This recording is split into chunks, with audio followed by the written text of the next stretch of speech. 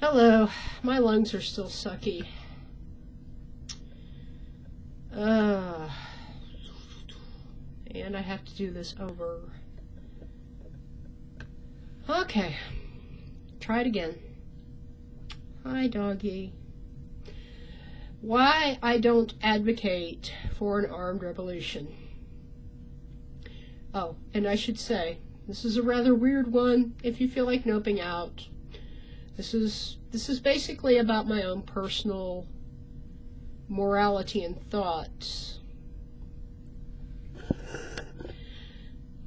I do not feel I can advocate for an armed revolution in a moral sense.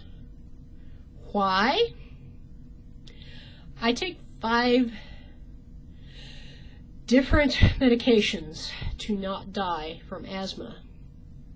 We're not talking discomfort here. If I had no medications, I'd probably be dead or at least very sick in a week or two. This is not when I'm sick with what might be COVID. This is uh, ordinary. In any kind of war that involves an actual civil breakdown and a supply line breakdown, I will become a carcass very rapidly. Even if I get off my fat butt and get in better shape, I mean, I'm trying to lose weight right now. My lungs might be able to get better, but they have been scarred since I was six years old, and I've definitely lost physical resilience over time. I'm getting older. TLDR, am not able to be a guerrilla fighter. And I think if I can't fighting can't fight, sorry, in a shooting war, it's not ethical for me to advocate for a shooting war. I can't even be support staff because I can't assure access to my suite of survival medications.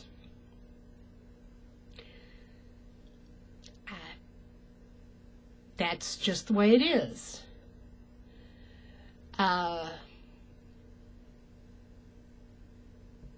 know, so basically, were I to advocate for revolution, of uh, armed Civil War style revolution, I would be saying, here, you go out and die for me. That, that just strikes me as disgusting. I'm not going to do that.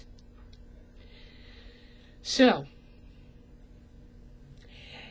if you believe that we absolutely must have armed revolution at some point, I think you should get together with like minded people, arm, and train for the possibility of a window of opportunity for that.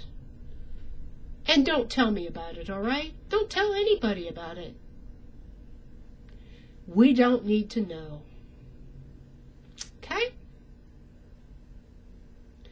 Understand that I am going to embrace civil resistance, which is a discipline of its own.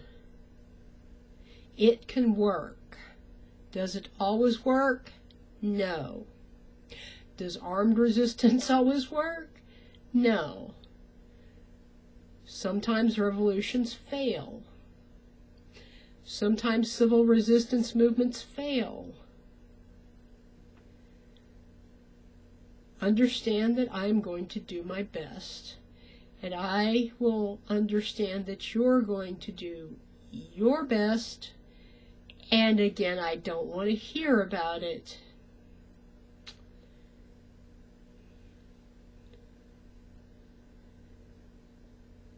However, I do need to very clearly point something out to you would be revolutionaries.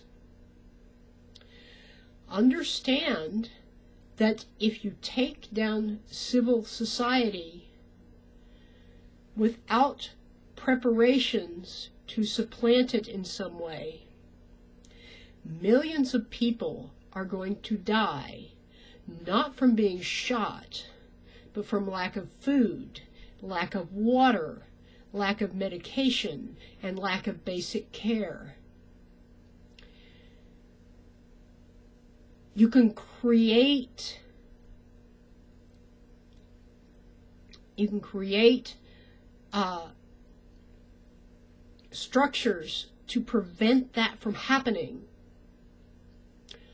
Or you can let it happen as a result of your actions. Because as god awful as the system we have is, as creaky and ugly as it is, a lot of people, like yours truly, are depending on it to survive. If you're willing to to bring it crashing down and let millions die to overthrow the system and bring on the revolution, that really says something about your motivations. And I mean, we're actually talking about like ill in the United States often equals poor because illness creates poverty when you don't have universal health care. Uh, and a lot of poor people are, and also poverty creates illness. So you're talking about a lot of people that aren't that well off are going to be in deep doo doo if the system comes crashing down. Whereas the rich, the people you and I both dislike, they're going to just flee the country and they'll be fine. It's the poor and the lower middle class people who are going to have serious trouble if the system collapses. Anyway,